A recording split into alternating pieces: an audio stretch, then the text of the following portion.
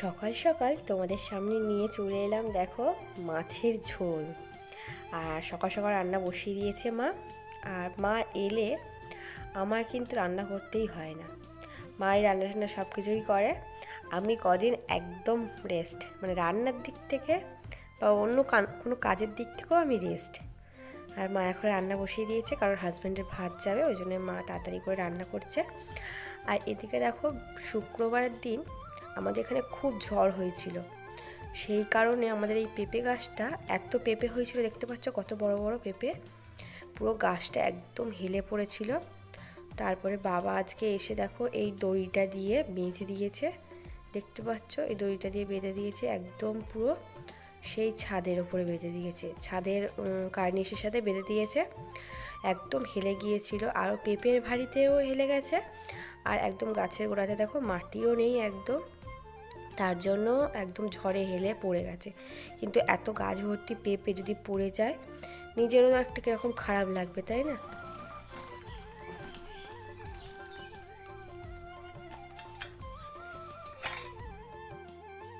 আর দেখো বন্ধুরা, এখন আমাদের তরকারি হয়ে গেছে।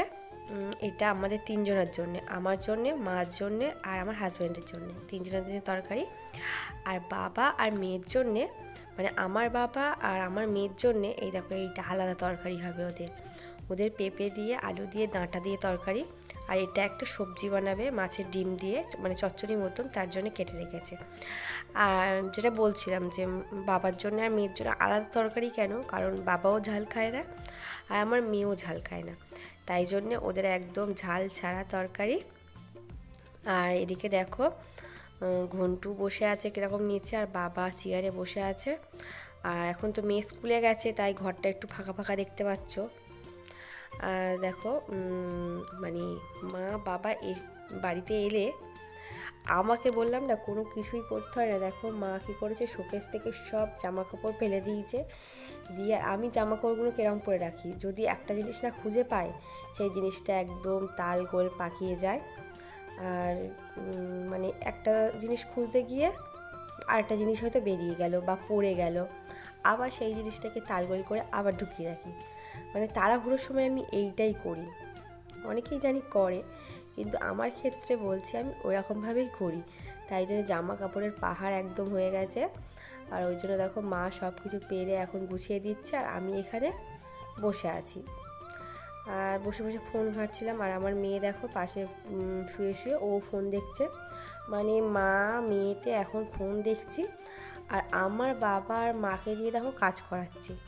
কাজ করাচ্ছি না, আমার মা ইচ্ছা করে ওগুলো ফেলে দিয়েছে জামা কাপড়গুলো ফেলে দিয়ে।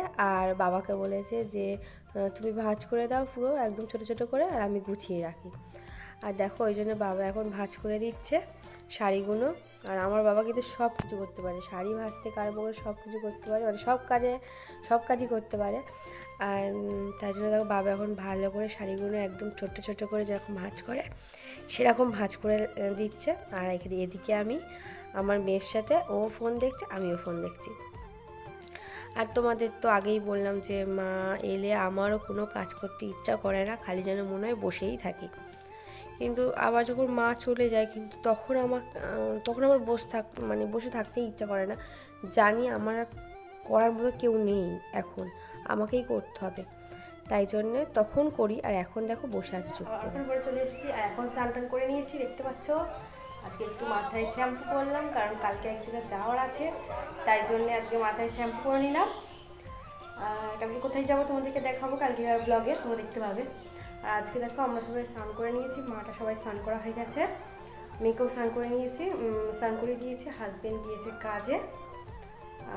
এরকম সেদিনকে দেখেছ একটা হাতে এই হাতে শাখাটা ছিল না, দেখেছ? শাখা নতুন পড়েছে। দেখো এই হাতে শাখাটা বেড়ে গিয়েছিল, আবার দুটো হাতে দেখো নতুন শাখা পড়েছে। ঠাকুরকে পুজো মা দিয়ে দিয়েছে, আর এখন আমরা সবাই মিলে ভাত খেয়ে নেব। আর আজকে রান্না হয়েছে মাছের তরকারি হয়েছে আর মাছের ডিম দিয়ে পালং শাক দিয়ে মানে পালং শাকের যে ডাঁটি শীষওয়ালা পালং শাক সেই দিয়ে একটা চচ্চড়ি মতো হয়েছিল মাছের ডিম দিয়ে। চলো তাহলে তাড়াতাড়ি খাওয়া দাওয়া হয়ে যাক। খেয়ে দিয়ে একটু ঘুমিয়ে পড়ি চলো। হ্যালো মাই ফ্রেন্ড এখন সন্ধ্যা হয়ে গেছে। আর সুন্দর সুন্দর দিয়ে নিয়েছি। আর ওই দেখো আরেকজন দেখো কি করছে তোমাদেরকে দেখায়? দেখছে।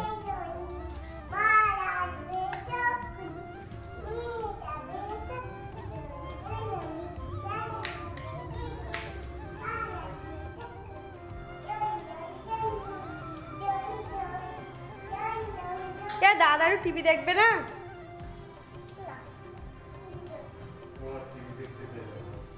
দাদার টিভি দেখব। বাবা। আর দেখো বন্ধুরা, চারিদিকে তো সন্ধে হয়েও গেছে। আর এখন দেখো মা রান্নাঘরে চলে এসছে। আর মা আজকে নিজের হাতে চপ বানাবে, আলুর চপ। চপ বানিয়ে সবাইকে একসাথে খাওয়াবে বলেছে। আর দেখো এখন অল্প করেই আলুর চপ মাখা হয়েছে মানে আলুটা মাখা হয়েছে। কারণ তেলে ভাজা জিনিস বেশি খাওয়াও ভালো নয়, তোমরা সবাই জানো। কিন্তু তাও আমরা বাইরে থেকে কিনে খাই, এরকম তেলে ভাজা জিনিস।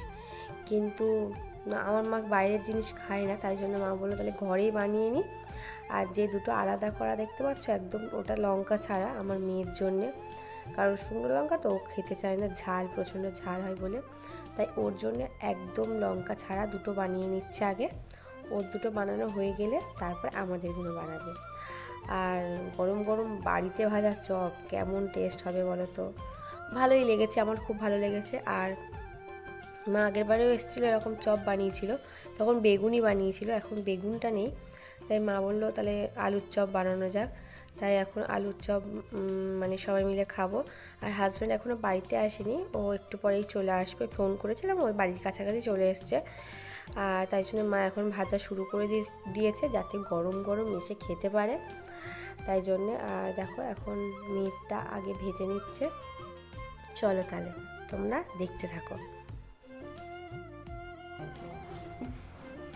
হবে তাহলে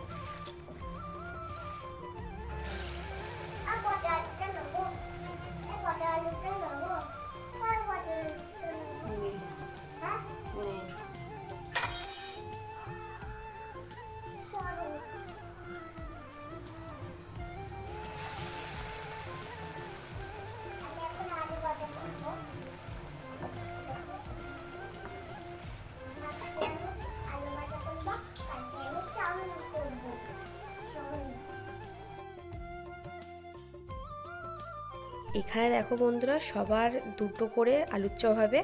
আর এখানে পেঁয়াজি মানে পেঁয়াজি হওয়া করার জন্য পেঁয়াজ কেটে রেখেছি। আর এখানে আছে আলুর পকোড়া ভাজবে মা বলল। তাই আলুর পকোড়া মানে করার জন্যে সরু সরু করে আলু কেটে রেখেছি। আজকে আমাদের সন্ধেবেলার এটাই খাওয়া মানে টিফিন বলতে পারো সন্ধেবেলা আর চা হবে একটুখানি তার সাথে মুড়ি আর গরম গরম হাতে ভাজা, মায়ের হাতে ভাজা।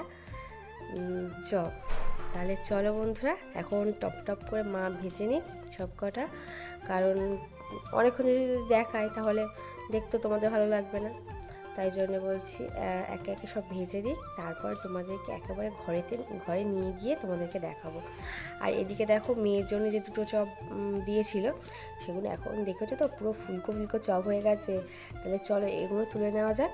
নিয়ে এবার আমাদের যেগুলো করবে, সেগুলো মা করে নিক। আর দেখবে বাইরের জিনিসে মানে বাইরের জিনিস খাওয়ার থেকে এরকম কিন্তু ঘরে কিন্তু বানিয়ে খাওয়া অনেক ভালো। তাই না? বাইরের জিনিস খেয়ে তো আমার কিছুদিন আগে এত শরীর খারাপ করেছিল মানে এত এতটাই শরীর খারাপ করেছিল মানে পেটের গন্ডগোল হয়ে গেছিল যে আমাকে স্লাইন নিতে হয়েছিল। আমাকে ওই বাইরের জিনিস খেয়েই আমাকে স্লাইনটা নিতে হয়েছিল। কিন্তু তাও কিন্তু আমরা বাইরের জিনিস খাই, কারণ তার টেস্টটা কিন্তু মানে জানো তো খারাপের টেস্টটা বেশি ভালো হয়। আমি বলছিলাম সব জিনিসেই খারাপ। মানে খারাপের টেস্টটা বেশি ভালো হয়, তাই জন্য আমরা বেশি করে ওই জিনিসটা খাই। কিন্তু এই ঘরের হাতে তৈরি জিনিস দেখবে, মনে হচ্ছে কীরকম টেস্ট মানে কীরকম একটা লাগে, তাই না? আর দেখো, তাহলে চলো, অনেকক্ষণ তোমাদের সাথে বক বক করলাম, আর এখন দেখো মা এগুলো তুলে নিচ্ছে। আর তোমরা হয়তো ভাবছ যে আজকে হয়তো চপ বানাচ্ছে বলে, তাই জন্য বলছে হাতে ভাজা চপ খাওয়া টেস্ট আলাদা। সেটা নয়, সেটা সবাই জানো যে বাইরের জিনিসের থেকে বাড়িতে ভেজে খাওয়া সেটা কিন্তু সবচেয়ে ভালো, শরীরের পক্ষেও ভালো, সব দিক থেকে ভালো। ছোলা মেয়েকে খাওয়াচ্ছে? আর কার্টুন দেখাচ্ছে আবার মেয়েকে। মা মেয়েকে কার্টুন দেখাচ্ছে আর খাওয়াচ্ছে। ওই মেয়েকে খাওয়া?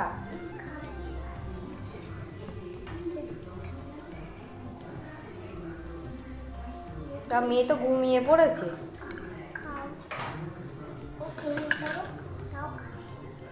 ঘুমিয়ে পড়লে তাও খায়? কেমন করে খায়?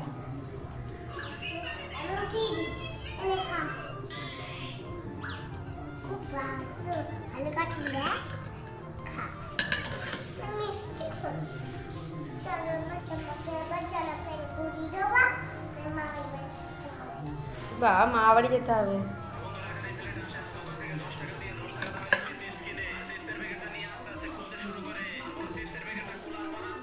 তো খাওয়াতে খাওয়াতে তুই নিজে ফোন দেখছিস মেয়ে তো ফোন দেখছে না তুই তো ফোন দেখছিস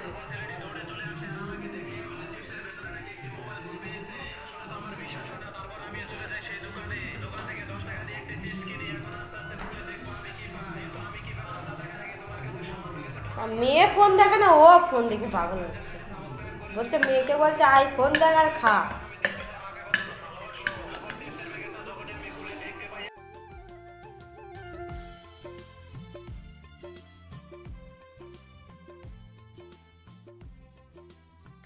আর দেখো বন্ধুরা, এখন রেডি হয়ে গেছে চপ আর হচ্ছে পেঁয়াজি। আমার তো দেখেই খুব লোভ হচ্ছে, তাহলে চলো এখানে মুড়িও আছে। আর এদিকে দেখো, এই যে ওরিও বিস্কুটের প্যাকেট দেখতে পাচ্ছ? এই বিস্কুটের সব ক্রিমগুলো বের করে নিয়েছে আমার মেয়ে। বের করে নিয়ে বিস- বিস্কুটগুলো এরকম প্যাকেটে রেখে দিয়েছে।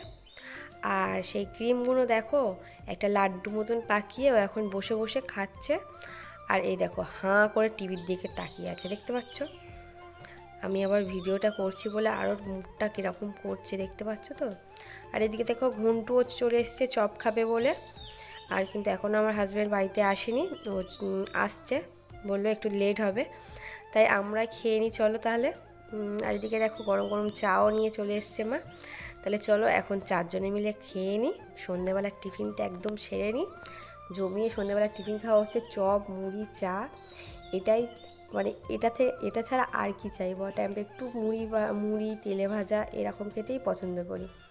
আর দেখো এখন সবাইকে বলছে, আমার দিকে তাকাও, আমি একটু ভিডিও করব। তাই বাবা মেয়ে, আমার বাবা মেয়েকে বলছে যে, তাকাও ওদিকে। তাই জন্য দেখো ও ওদিকে তাকিয়ে আছে। তাহলে চলো বন্ধুরা, আজকে ব্লগটা কেমন লাগল আর মায়ের হাতে চপটা কেমন লাগল অবশ্যই কমেন্ট করে জানিও। সবাই ভালো থেকো, সুস্থ থেকো আর সাবধানে থেকো। আর আমার ভিডিও যদি ভালো লেগে থাকে তাহলে একটা সাবস্ক্রাইব করে রেখো।